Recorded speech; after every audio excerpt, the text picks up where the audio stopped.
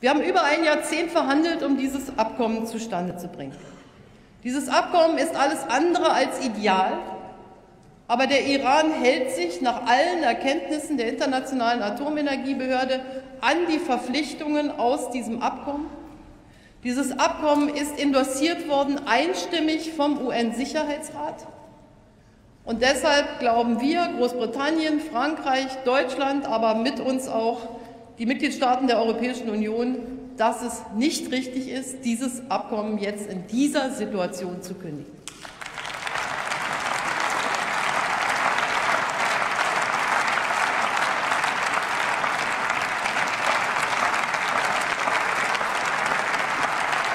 Das bedeutet nicht etwa, dass wir mit dem, was der Iran ansonsten tut, zufrieden sein können. Wir müssen über mehr sprechen, über das ballistische Raketenprogramm, über den Einfluss, den der Iran und die Hisbollah in Syrien ausüben. Kann man besser sprechen, wenn man dieses Abkommen kündigt? Oder kann man besser sprechen, wenn man in diesem Abkommen bleibt? Wir glauben, dass man besser miteinander weiterreden kann und muss. Ich sage das ausdrücklich, weil das ballistische Raketenprogramm eine Gefährdung auch gerade der Sicherheit Israels ist. Wir glauben, man kann besser sprechen, wenn man in diesem Abkommen bleibt, meine Damen und Herren.